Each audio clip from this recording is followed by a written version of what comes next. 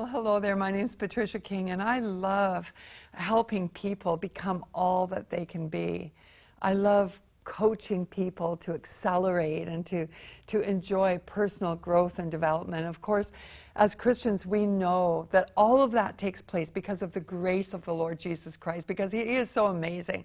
And He said, All things are possible, only believe. The scripture says, I can do all things through Christ who strengthens me. And when you believe that, you can run forward into a glorious future. But there's also all kinds of little practical things along the way that we read about in the Word and we have insight through the Word that'll help you ensure success in what you put your hands to. You want to have a fruitful life for God and to bless the world around you and, and uh, to have that sense of fulfillment within. And you can do because you're a champion. You're awesome, okay? So today I want to share some things that I've learned about the power of focus there's something about focus in itself that when you come on a project with one thing rather than having a whole bunch of things, um, that focus creates a power within it to accelerate accomplishment. So, I um, I was just working recently with someone. Uh, we were doing a special project, and so we had definitely we had a clear goal a clear desire for what we were looking at. Our vision was clear, it was specific. We had dates, we had targets. I mean, everything was good as, as far as that goes. And we had a plan of action that involved certain steps that had to be done. And so when I was following up on this after the um, you know, after we had had our initial meeting, discuss how we were going to do it, what people were involved in it, and we started implementing it. When I followed up on it, like three weeks later, nothing was done. And I said, Well, we had a clear goal, a clear vision, and we had a clear plan of action, but what happened? Nothing is accomplished. This is not okay. This is this is not okay. What happened? So then they began to share with me all these distractions that came in. Well, this happened. I, I started on this, but then that happened, and then I started on this, but then I got called to do this, and then I started on that, and then I, I thought, I don't want to hear anymore. You are responsible for your time. You are the one that allows distraction or not. Anytime that I get distracted is because I allowed it. But your focus on what you're doing at the time, if you can have accelerated, unbroken focus, you will have accelerated, unbroken fulfillment of dreams. It is so powerful, your focus. Sometimes, you know, because I'm a leader of ministry and diff- different businesses, there's, you know, all of us can get overwhelmed initially with certain workloads and that. And, um, you know, I've, I've, I've, got, you know, different ministries and activities from all over the world and different departments and projects and mandates and all kinds of things. So there are times when I can get overwhelmed when the workloads on every department line up and some of them crisscross and it gets convoluted and confusing.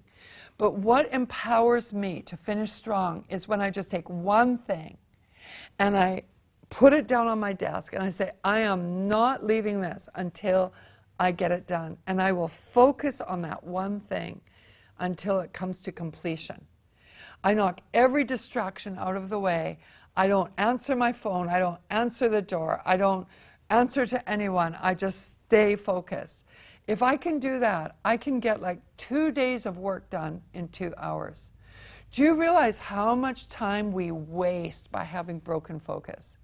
If you can get focused on something and start in the beginning with no distractions, you can finish strong. But not only will you get it finished, the quality of work will be better. Because you know just, just just face it. If you're working you know oh, let's say you're trying to bake a cake and you want a really good cake okay? And so you put the flour in the bowl and you put a little bit of baking powder in it and then oh shoot i forgot i didn't put my uh, my laundry that was in the washer into the dryer i'll go do that now so then you go away and you throw the washer clothes into the dryer and turn the dryer on you you go back and say okay cake cake, right? Okay, I better add some sugar. Here's some sugar. And you do that and say, oh, I forgot to phone my mother in law.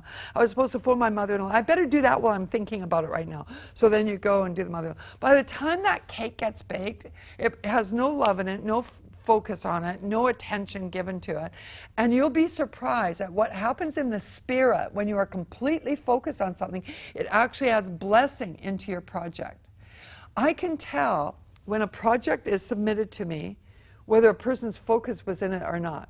Because when their focus is really in it and they're going gung ho, it has a life, it has an energy on the inside of it. So not only have they completed it well, but it also has this this life in it that doesn't come when someone half-heartedly throws something together. And so focus is so important. You will accelerate. And I would highly recommend get the distractions. The young people today, especially, they live in a big digital wor- world. So they're trying to work and answer emails and Facebook and, you know, tweets, and they get little things coming in on their texts. And I mean, it's just like, how do you get? I mean, what what is going to happen in this next generation? I mean, I've seen work uh, production accelerate when you remove all those options and you get people focused where they can't talk to anyone, where they can't get up and do anything else except stay on their project. They can accelerate. I mean, sometimes taking, instead of two weeks to do something, one day. I'm not kidding you. I know that that has happened.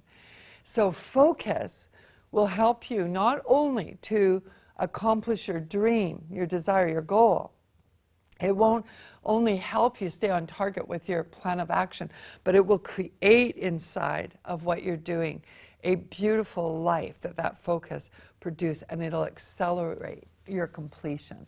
So I hope that little tip, um, a life coaching tip, will help you the power of focus. God bless you.